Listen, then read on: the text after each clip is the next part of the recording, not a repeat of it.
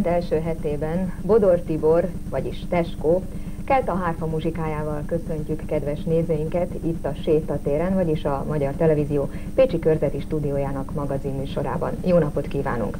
Kedves nézőink, engedjék meg, hogy külön köszöntsük a névnapjukat holnap ünneplő barbarákat, illetve borbárá, borbálákat.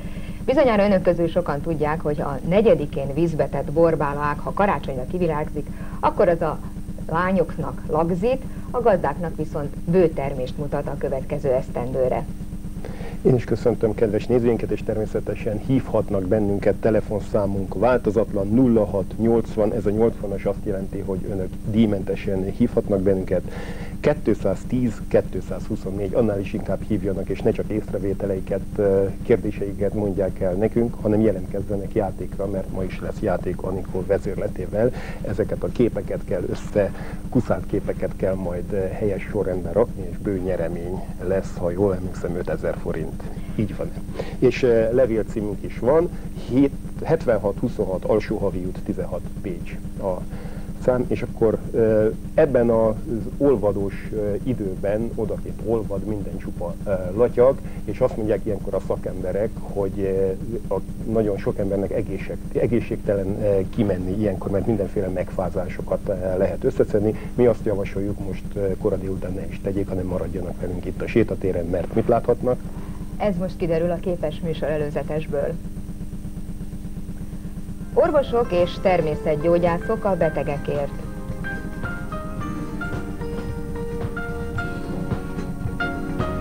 Ma egy kínai étellel ismertetjük meg Önöket.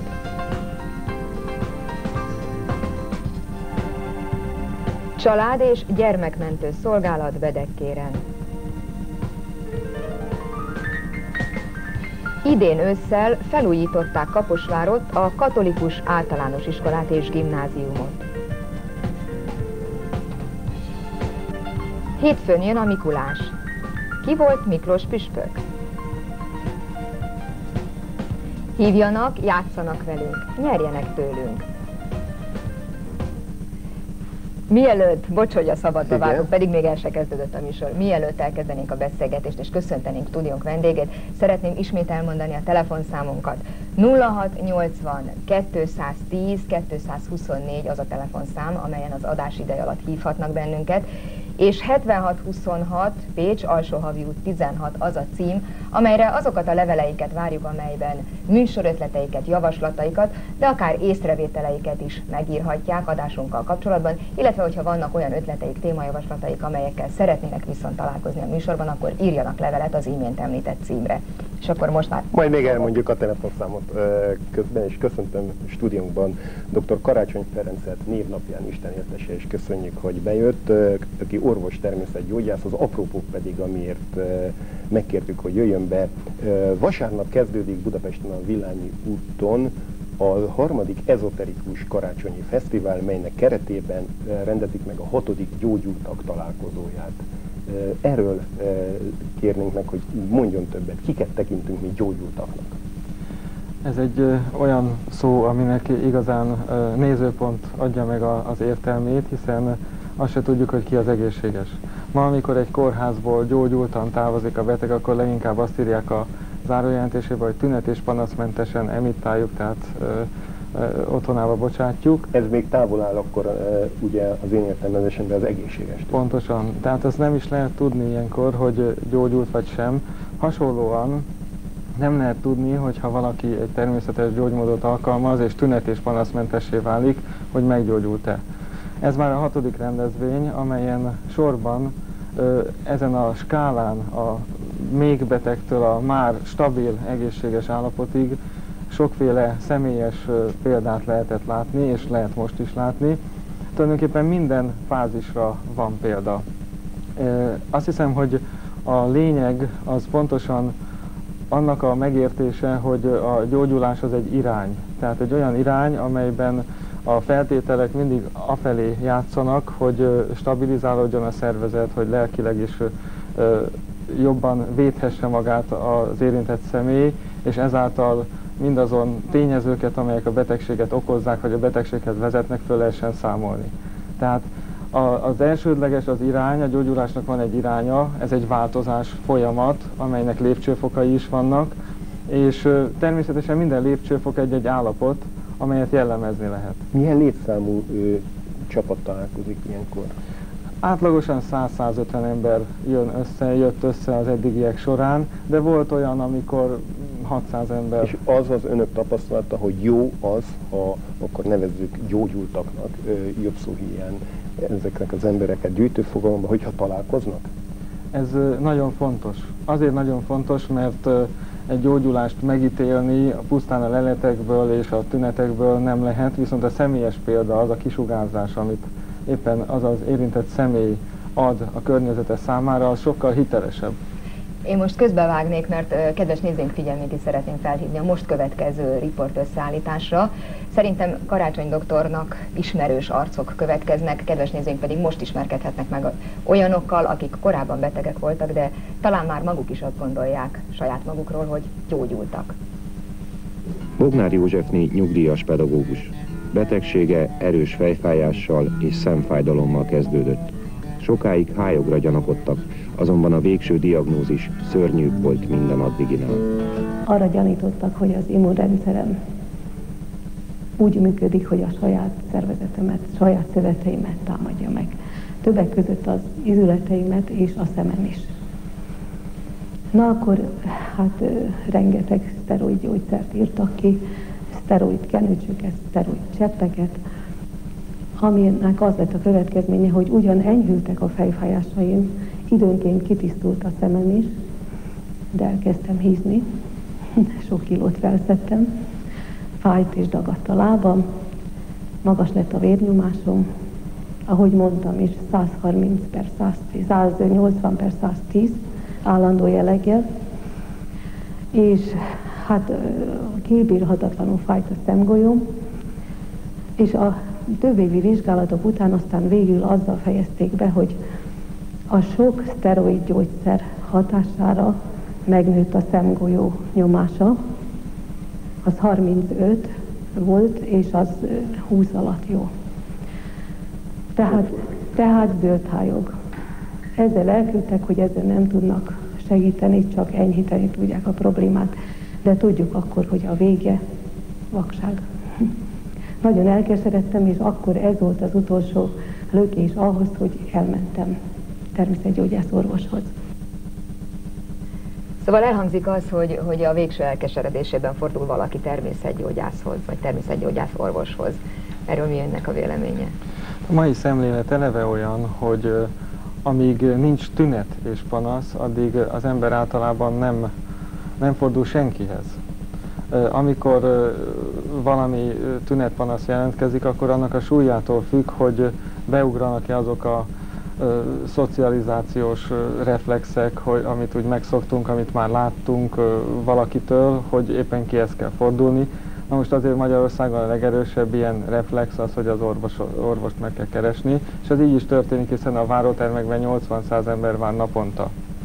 És miután valaki összeszed valami olyan csalódást, hogy, hogy nem sikerült a mm, elvárásának megfelelően az addigi terápia, akkor akkor szinte csodát várva fordulnak természetgyógyászhoz. Természetesen ez egy aránytalanság, és így önmagában értelmetlen is, de a mai viszonyok ezt tükrözik, tehát ez most jelenleg így van.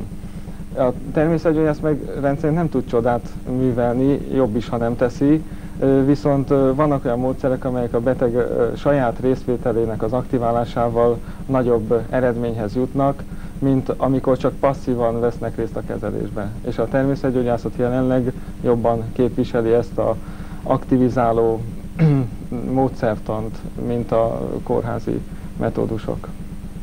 Most akkor ismét azt hiszem, hogy következik egy olyan bejátszás, egy olyan körkép, amelyben a volt betegeket hallgathatjuk. A közönséges gyógyszerek jönnek és eltűnnek. Amit tegnap jónak tartottak, már a haszontalannak bizonyul. Amit ma jónak tartanak, holnapra az bizonyul haszontalannak. A szeretet azonban minden próbát kiáll, és mindig hatásos marad. Bennem egy pillanatra nem volt az az érzés, hogy én meghalok. Én bennem az volt, hogy ebből ki lehet gyógyulni. Eleinte tényleg az, az úgy piszkálta a csörömet, hogy, hogy miért van az, hogy, hogy más, hogyha megtudja azt, hogy beteg, vagy rákos, akkor abba meg lehet halni. Én bennem az volt, hogy ebből ki lehet gyógyulni. Már csak egyfajta gyógyszert kell szednem, ott azt mondta az orvos, hogy amit négy gyógyszert fölírt, szóval azt rendszeresen szednem kell.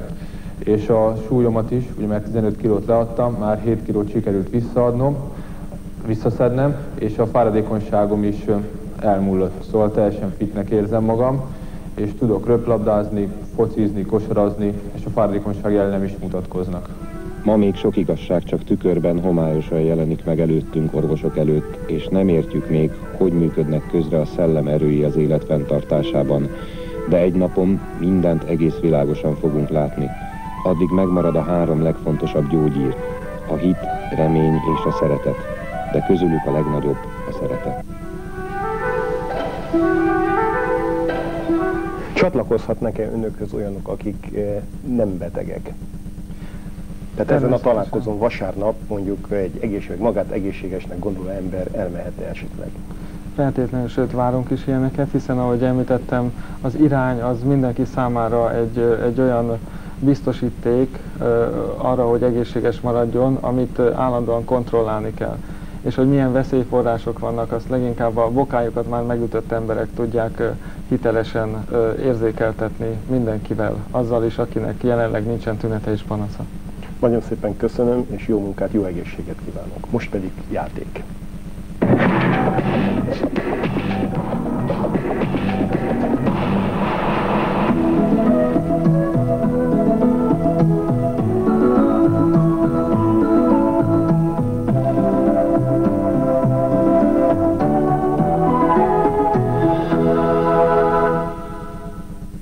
Jó napot kívánok! Köszöntöm azt a játékos kedvű nézőt, aki a vonal túlsó végén vár a lehetőségre. Itt majd hamarosan látni fog egy fotót, ezt Ornodi László fotóművész készítette. A fotót darabjaira szedtük szét, önnek az a feladata, hogy rakja össze, és utána mondja meg, hogy mit ábrázol a kép. De előtte egy rövid bemutatkozást kérnék. Halló! Halló! Két sok Boldzsár István vagyok Orosztonyból. Jó napot kívánok István! Ismeri a játékszabályokat, ugye? Igen, igen, igen. A fotót kell ö, egy egész képpé alkotnia. Kezdjük a játékot, mondja, hogy mit, honnan, hova tegyek. A1, B2.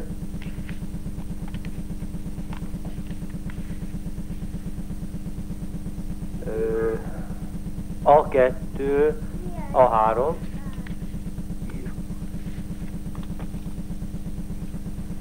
Jaj, bocsánat, A2-t mondott és A3-at. Igen, igen, igen, úgy, úgy. Bocsánat, én voltam a ludas. Akkor most... A2, B2. Igen, most már nagyon figyelek. Jaj. Igen. Cecil... Ne, a... Cecil 1-es, az a Aladár 3. Igen. Ö, Cecil 1-es, Aladár 1-es.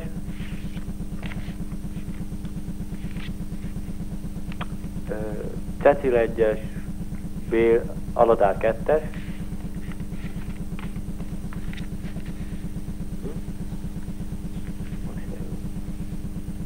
Ezek a felhők itt nem biztos, hogy jó helyen vannak. Igen.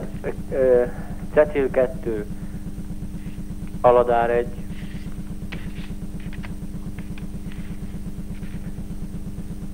Cecil 3, Aladár 2.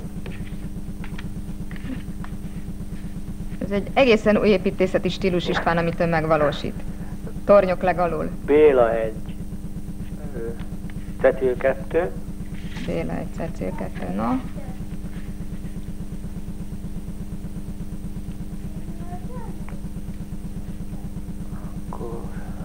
Cecil 3, Béla 1. Igen. Ö, A- Aladár 3, Béla 3. Jaj, ez a Cecil volt, bocsánat. Igen, igen, igen. Igen. És aztán közben lejárt az időnk. István sajnos nem lett öné a 3000 forintos vásárlási utalvány. Nem baj, köszi szépen. Köszönjük, hogy Jó. velünk játszott viszont hallásra. Lesz még lehetőség javítani, mert azt hiszem lesz még mód arra, hogy játszanak a versenyzők. Egyébként ezt ilyen torony iránt elég nehéz volt kirakni, úgyhogy én együtt éreztem a versenyzővel. Most pedig kedvenc rovatunk, itt a kollégáimmal kedvenc rovatunk következik. Egy táji jellegű ételről lesz szó, ami úgy hangzik, hogy táji marhasült tésztával, és korábban úgy szokták ezt mondani, hogy vegyenek elő papírt, szeruzát és írják rá a receptet. Ebben az esetben ez egy kicsit nehéz lesz. Egy kínai szakács, hazánkban ideiglenesen állomásozó kínai szakács mondja el azt, hogy mi kerül a vokba. Szeretettel köszöntöm a nézőket. Én Gliaoniból érkeztem, a nevem Szum, és szakács vagyok. Hallottam, hogy a marhahúst Magyarországon is kedvelik, de ezt mi egy kicsit másképp készítjük el. Ma táj marhát főzök önöknek tésztával. Közben látni fogják, hogy mi minden kell ehhez.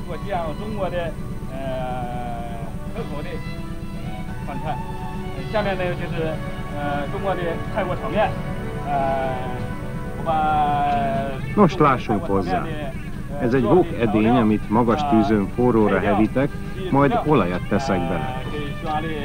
A voknak nagyon forrónak kell lennie, hogy az étel finomra süljön.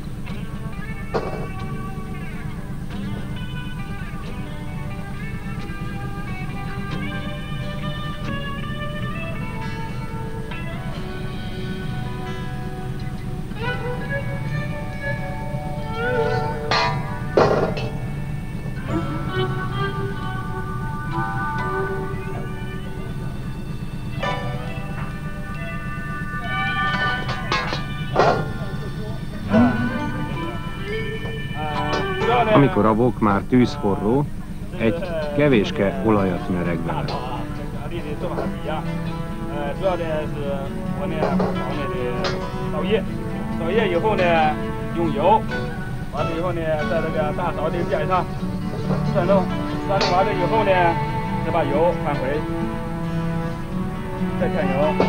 Ezt visszaöntjük a hideg olajhoz, mint látták, ugyanakkor rögtön merünk is a vokba a keverékből.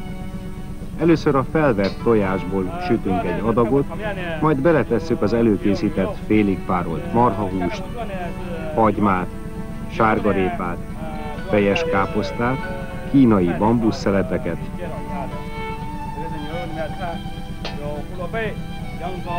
ezt újra fogom sütni.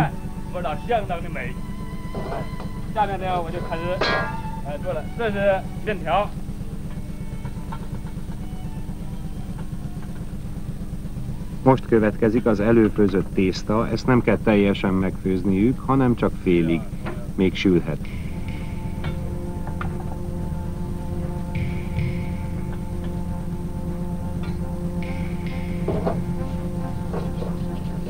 Az egészet összekeverjük a forróvokban. Erre csipetnyi sót, cukrot teszünk, majd Boicsint, ami egy sajátos kínai ízesítő szer, ez erősíti, kiemeli a fűszerek ízét, aromáját.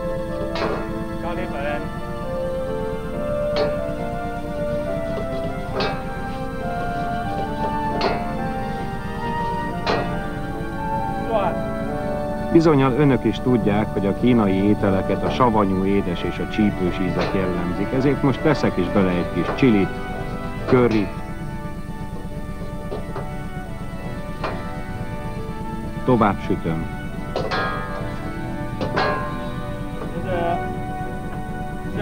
Az olajban áztatott zúzott fokhagyma után egy kis szójaszósz jön.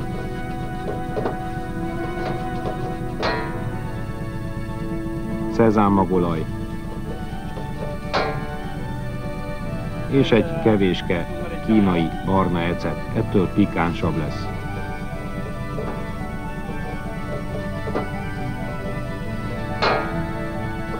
Van itt egy kis apróra vágott zöld hagymánk is, ezt szintén belekeverjük a végén, ami pillanatok alatt megsül, és már kész is. Íme a táj marhasült tésztával. Egyéb iránt Sun mesterrel, mert hisz őt láttuk, ha nem ismerték volna föl a, a képen, a Pécsi plázában találkoztunk, és a dolog érdekessége az, hogy ugyanennyi ideig tartott körülbelül az egész elkészítése, amennyit itt láttak, tehát körülbelül három és fél négy percet. Kedves nézőink, gyanítom, hogy az imént látott tésztás marhasültet nem túl sokan készítik Bedekéren és környékén. Ott, ahol egyébként igen sok többszörösen hátrányos helyzetű család él ingerszegény környezetben. A Családsegítő Központ munkatársai ezért többek között azt is szeretnék elérni, hogyha az általuk szervezett játszóházba nem csak a gyerekek mennének el, hanem a szüleik is elkísérnék, és ott együtt, közösen vennének részt a programokon.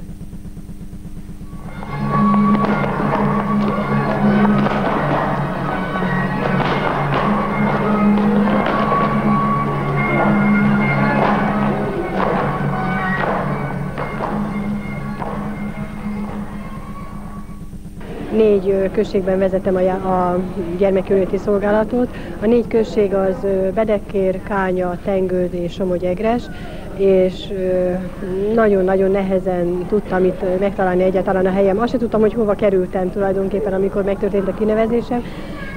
Hát nem tudtam, hogy hogyan kezdjem. Az az igazság, hogy én a, gyerekekhez nagyon-nagyon közel állok, mivel évek óta táborokat, táborokban vezetek kézműves foglalkozásokat, és ezért gondoltam, hogy a gyerekeken keresztül talán jobban megismerem a szülőket is. Orsos Edina vagyok, Somegyegresről érkeztem, és 10 éves vagyok. Ki kísért el a játszóhányba, és hányadszor vagy itt? Édesanyám kísért el, és másodszor. És miket készítettél ezen az délutánon? Ezt a babát, és ezt a zegeret.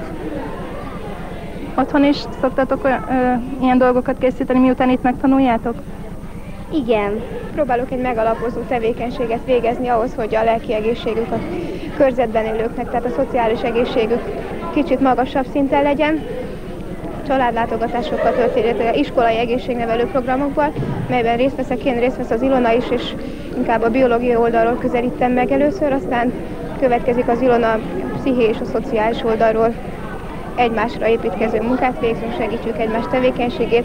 Más az intézkedési jogkörünk, tehát egy-egy családnál a konfliktusokat több oldalról is tudjuk kezelni, illetve a lehetőségeink mások. Láttam azt, illetve tapasztaltam azt, hogy a szülők nagy része persze tisztelet a kivételnek, nagy része inkább a kocsmában tölti el az idejét.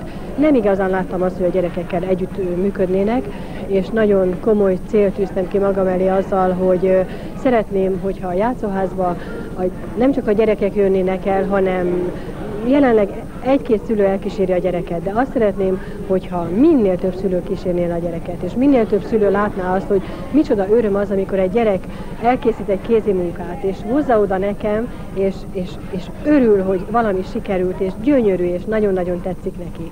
És azt szeretném, ha a szülő is észrevenni ezt, hogy, hogy mennyire jó együtt dolgozni, együtt kézimunkázni, és mennyire jó együtt eltölteni az időt, mert hát a gyerek, gyereknevelés nem csak abból áll, hogy beperenkázom, tisztába teszem, etetem, tiszta ruhát adok rá, hanem együtt eltölteni a délutánokat, a szabadidőket. Ez egyszerűen annyira csodálatos élmény minden szülőnek, hogyha, hogyha majd rájön mert azt hiszem, hogy jelenleg nem igazán sokan tudják ezt, hogy ez milyen nagy élmény.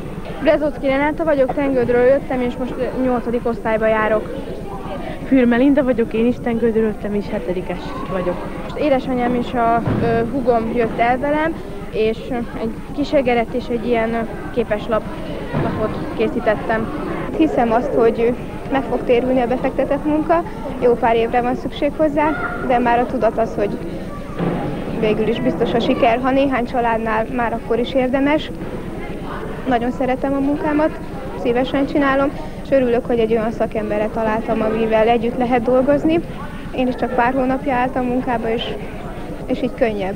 Rendszeresen járok ehhez a családhoz látogatni, segíteni, próbálok a család lakáshelyzetén, és most szeretném bejelenteni nektek, van Bedekér központjában egy családi ház, ami fiatal korúaké, és a vagyonkezelőjük a ház megóvása érdekében szeretné eladni ezt az ingatlant. Lehetőség nyílt nektek arra, hogy ezt az ingatlant a havi 5000 forintért megvásárolhatjátok. Úgyhogy nem tudom, hogy ez mennyiben változtatná a ti sorsotok, hát, szerintem nagyon Nagyon szuper lenne. Sokat már itt azért, hogyha nem akarok úgy mutogatni, de például ott van egy falba, hát egy majdnem egy fél centis repedés, az ágyam alatt egy klímaberendezés van, nagyon jó, főleg amikor nem tudok kukoricát főhozni, mert fa sincs, hogy mit nem mondjak, akkor a gyerekek mínuszba kellnek. Úgyhogy van egy olyan alkó is a főbérlő, ami az ablakokat kitördeli, meg ilyenek. Úgyhogy akkor maga szerint akkor jobb lehet. Biztosan jó lesz nektek. Ami engem a leges legjobban motivál, az a hitem. A hitem és a szeretetem.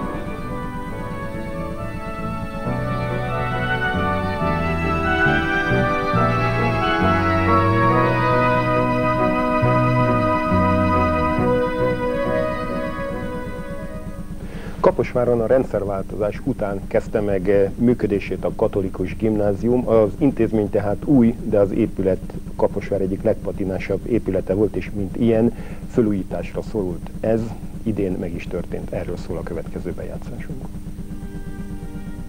Így mutat ma 1999 végén Kaposvár központja madártáblatól.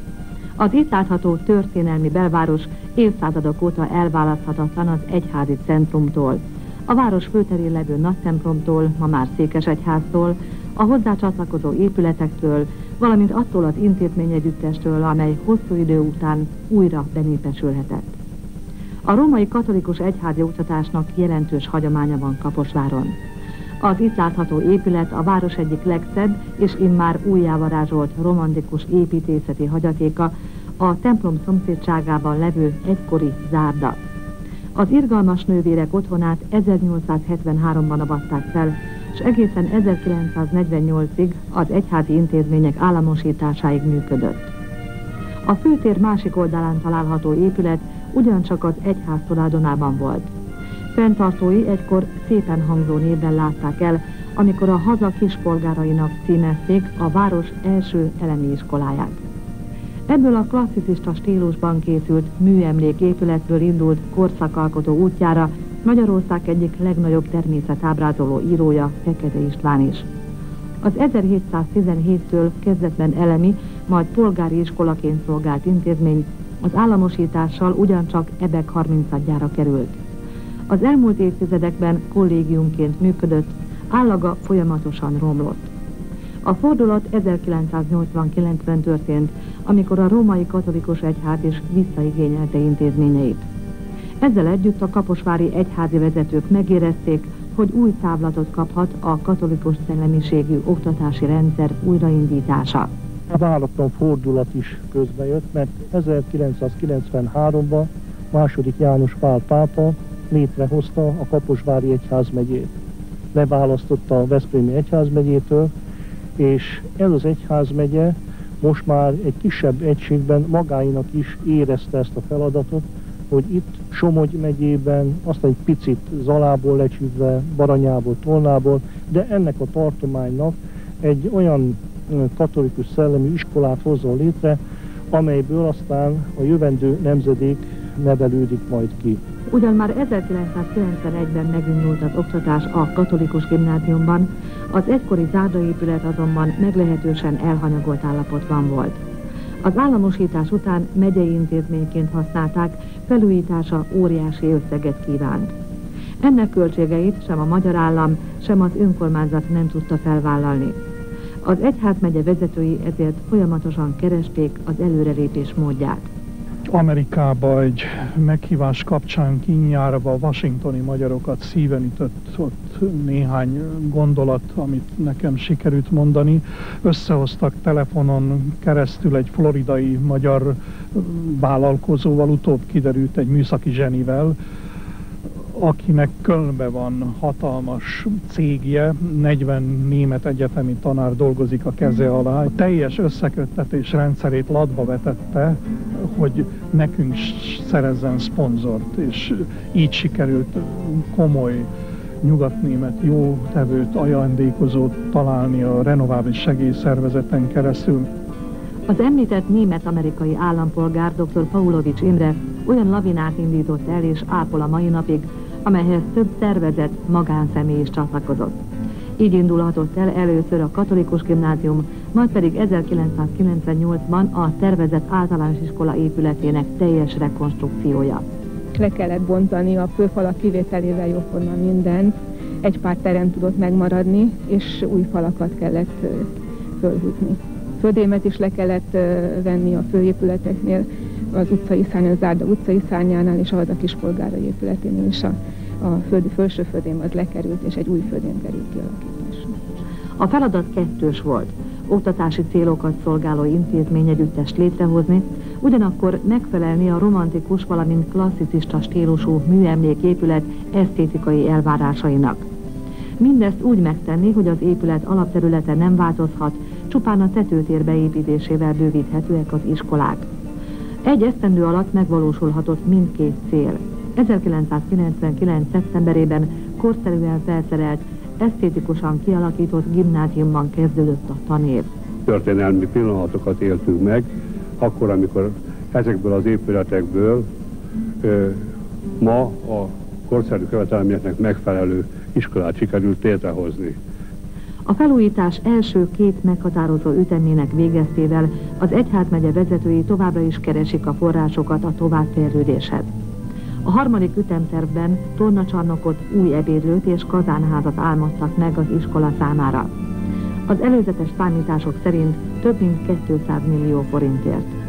Új kihívás a régi lendülettel tartják az intézményvezetők. Kaposvár építészeti arculata pedig megint színesebb lett. Kedves nézőink, stúdiónkban köszönhetjük dr. Mándoki László néprajzkutatót, aki egy találós kérdést hozott nekünk. Azért választottam ezt a találós kérdést, mert a 370 évvel ezelőtt megjelent első magyar nyomtatott találós kérdés gyűjteményben is szerepel.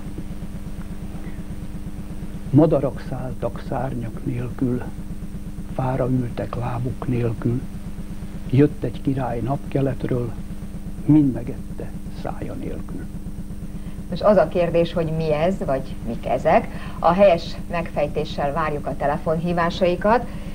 Elsősorban gyerekek hívásaira számítunk, mert hogy télapó alkalmából és a Blahus Kft-nek köszönhetően ilyen meglepetés zsákocskákat tudunk majd ajándékként átnyújtani a gyerekeknek. És ez a kérdés van annyira nehéz és körmönfont, hogy addig megnézhetjük a e, e heti kalendáriumunkat, amely természetesen a télapó e, témakörből és a Szent Miklósról szól. Egyetlen egy pillanat.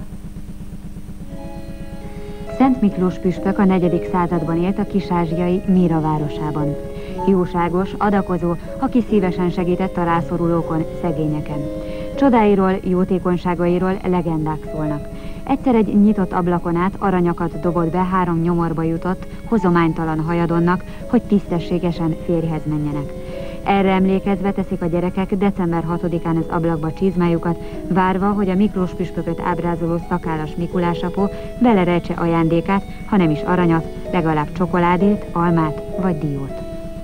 Miklós a gyermekek barátja, ajándékozza őket mindent. Tehát a legszebb ünnep talán a Mikulás nap, vagy Miklós nap, ez valójában a karácsonynak az elő estéje, karácsonynak a vigiliája Miklós nap. Na most Miklós naphoz különböző köszönték és érdekes is mondókák járulnak. Rontom, bontom, csontom, csörgő, börgő lánccal jöttem, van egy rossz gyerek a háznál, van egy jó gyerek a háznál, a jónak kaláccsal, a rossznak virgáccsal. A Miklósról még azt is el kell mondanunk, hogy valójában Miklós a patronusa a vizenjáróknak, a kereskedőknek, a pékeknek, az eladó sorban lévő lányoknak, és a különböző városoknak, a polgári városoknak. Ilyenkor a szent életű püspök, a diákság megjelent általában nagylányos háznál, menyecskéknél, bementek, és megkérdezték a kedves hölgyeket, hogy van-e szeretőd? Háltál-e már vele? Hát általában válasz ilyenkor az volt, hogy nem, nem. Erre a két ördög gyorsan megjelent, a menyecskét vagy a nagylányt kivitte az udvarra, vagy bevitte a, a konyhába, ott egy kicsit megtapogatták, majd utána visszaengedték. Egy másik érdekesség Szent Miklós napjához fűződik, tehát nem csak az ajándékozó Miklós, hanem ehhez a naphoz különböző termő és időjósló napok is járulnak. Ha ezen a napon születnek a kismalacok, a koca biztosan felneveli őket, vagy egy másik, ha fúj a szél Mikuláskor, akkor elmenekülnek az egerek, És ugyanaz egy szintén, hogyha Miklós napján esik a hó, tehát ebből a napból tudunk tudtak jósolni a karácsony napjára is, tehát Miklós megrázza a szakállát. Miklós napján a mai gyerekek ugye úgy tanuljuk, úgy látjuk, hogy tiszta csizmát, cipőt kitesznek az ablakba. Na most ehhez a, ebbe a csizmába, cipőbe a, a régi időben alma, mogyorú dió és egy vesző, azaz virgács kerül. A téli ünnepek ajándékoztó Miklós legendája már a kicsit összekuszálódott. Az 50-es években divatba hozott télapó már december 5-én este megérkezik tömérdek édességgel és csokoládé figurával. Miklós püspök pedig piros palásban, fején a csúcsos süveggel, hátán puttonyával csak járja szerte a világon a forgatagos utcákat, áruházakat, megjelenik családi és iskolai ünnepélyeken, számtalan kiadásban. Kedves nézőink, az imént dr. Mándoki László néprajzkutató egy találós kérdést adott fel a gyerekeknek, elsősorban a gyerekeknek. Az adás ideje alatt, vagyis most még a 0680 210 224-es telefonszámon hívhatnak bennünket, és mondhatják el megfejtéseiket. Most akkor télapó vagy Mikulás a probléma ideológiai? Nem, hanem itt különféle szokások keveredéséről van szó, hiszen más elnevezései is vannak, a Pér Noel a franciáknál, a karácsonyapó, a Weihnachtsmann, szintén a Szent Miklós figurának a megnevezése. Hozzánk viszont, és ez nagyon érdekes, hogy a Szent Miklósnak egy kifejezetten szlávos alakja, a Mikulás honosodott meg. Érdekes módon a magyarországi parasság és a magyar és nemzetiségi lakosság körében van, ahol csak a 70-es években jelenik meg a Miklós püspök, holott úgynevezett Mikulás járás már jóval korábban volt, menyecskék, gyerekek megvirgácsolása, kikérdezése, tréfás gyóntatása,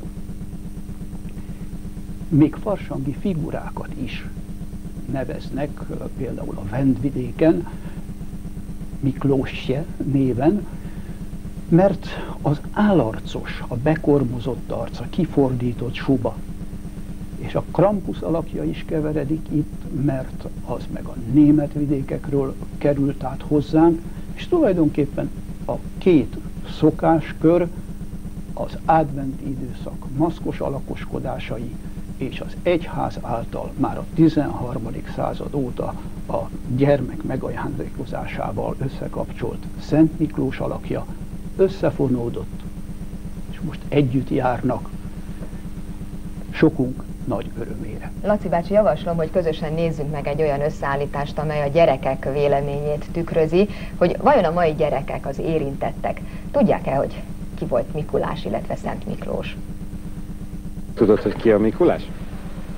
Igen, Miklós püspökről nevezték el, mert ő szerette a gyerekeket is, és nagyon sok jót tett mindenkivel.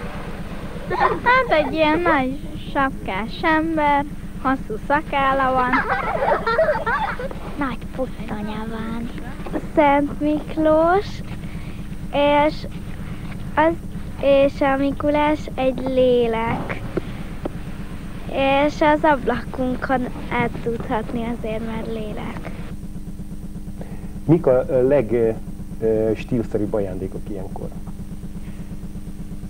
Egy neves néprajzkutató, Katona Lajos, már a század fordulón, sőt a múlt század végén írt egy tanulmányt Miklós és a Krampuszok társaságáról, ő mondta, hogy a polgári Mikulás szokás kialakulásában tulajdonképpen a csokoládé és cukorka gyárosoknak a reklámfogását kell látnunk.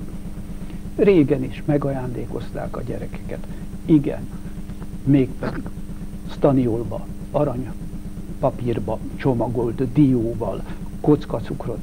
Egyszerű kis ajándékok voltak ezek, és az a Mikulás kultusz, ami tulajdonképpen a fogyasztói társadalomra ma jellemző, tényleg a polgárság körében, és csak az utóbbi néhány évtizedben alakult ki. Korábban hangsúlyosabb volt a vallási jelleg, mint ez az ajándékozási ünnep. Nagyon szépen köszönöm, hogy megosztotta velünk ezeket a ismereteket. Most pedig nézzük meg azt, hogy hétvégén hova menjünk a Mikulás ünnepségek közepette, és milyen programokat nézhetünk meg.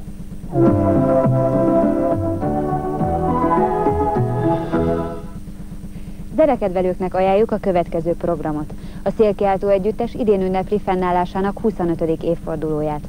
Ennek alkalmából december 6-án jubileumi estet rendeznek a Pécsi Nemzeti Színházban. A programot kicsiknek és nagyoknak egyaránt ajánljuk, hiszen a fél nyolckor kezdődő jubileumi koncert előtt a gyerekeket is meglepi a Szélkiáltó Mikulás. A fél hatkor kezdődő gyermekkoncerten közreműködik Sólyom Katalin, a Pécsi Nemzeti Színház művésze. Érdekesség, hogy az esti koncerten az együttes volt tagja is fellépnek. Izgalmas és érdekes program várja a kalandvágyú gyerekeket december 4-én és december 5-én. A Szivárvány Gyermekház éjszakai túrát rendez a Télapó nyomában címmel. A Mecseki Erdei Kaland a Kulcsos kezdődik, ahol egy Krampus rejtjeles üzenetet ad át a gyerekeknek, akiknek a mecsek rengetegeiben a télapó nyomába kell eredniük. A gyerekeknek több állomásponton kell helytállniuk, a legügyesebbeket a télapó bőségesen megjutalmazza. Az éjszakát a gyerekek a kulcsos házban tölthetik, másnap pedig ismét a természeti a főszerep egy középmecseki túra keretében. A természeti a főszerep a következő programban is. A Művészetek Háza Martin Ferenc galériájában december 7-én 17 óra 30 perckor Ilyen a természetünk címmel fotókiállítás kezdődik. A kiállítást dr. Kalotás Zsolt, a Magyar Természetfotósok elnöke és dr. Aknai Tamás művészettörténész nyitja meg. A megnyitó után a szerzők diavetítést tartanak, valamint bemutatják Novák László és Kármán Balázs Privát Éden Magyarország szebbik arca című könyvét. A kiállítás december 31-ig tekinthető meg. Kiállítás nem csak Baranyában, hanem Somogy megyében is lesz. Galam kiállításra hívjuk kedves nézőinket Kaposvára, az Együd Árpád Művelődési Központba. A rendezvény december 3-ától 5-ig tart. A kiállításon neves külföldi tenyésztők is részt vesznek.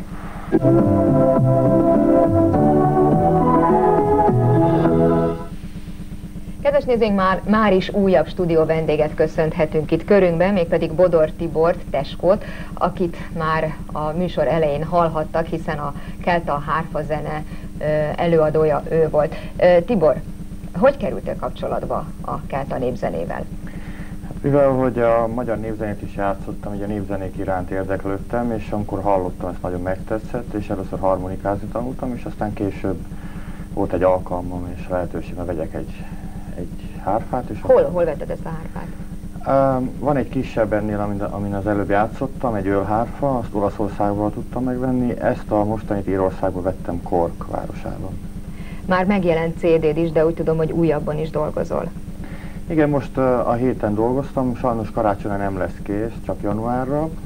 Itt kétféle zene lesz rajta, az egyik oldalon a 18. századi barokk kornak a ír hárfazené, a másik oldalon pedig az Árkó trióval közösen saját zenét.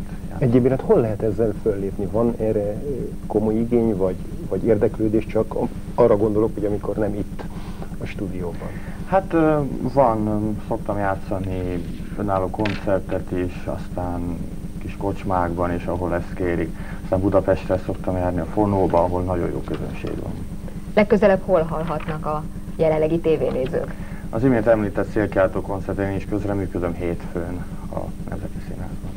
Köszönjük szépen, hogy befáradtál ide a stúdióba, és meg is kérlek arra, hogy ismét menj oda a hangszeredhez, mert hogy ismét játszani fogsz. Mit hallunk majd tőled? Az imént említett Caroline nevezetű ír bárdnak a, a, egy darabját fogom Köszönjük szépen, úgyhogy akkor most amíg odamész a hárfához, addig szeretném elmondani kedves nézőinknek azt, hogy az iménti találós kérdésnek mi volt a megfejtése. Nos, a helyes megfejtés a hópehely és a nap volt. Szerencsére voltak helyes megfejtők, Füleki Dalma Zalátáról, Boldizsár Rihárd Orosztonyból, Antal László Villányból és Dani Csaba Pécsről. Itt mutatnám meg Tesco CD-ét nyerte Dani Csaba Pécsről. Gratulálunk a nyereményhez. A többiek pedig találós kérdések kifestőkönyvét Mándoki Laci bácsi ajándékaként, tehát egy-egy kifestőkönyvet, valamint egy-egy, itt mellettem van, meglepetés zacskót a Blahus Kft. ajándékaként, tehát a többiek egy-egy ilyen ajándékot tudhatnak magukénak, és akkor köszönjük szépen figyelmüket, a mai adásnak. Sajnos ilyen hamar a végére értünk. Közben Teskot sikerült elirányítani a kamerák mögött a helyszínre, úgyhogy semmi nem akadályozza meg, hogy kellemes legyen a hétvégénk egy szép hárfezenével. Viszontlátásra, viszontlátásra. Viszontlátásra. thank you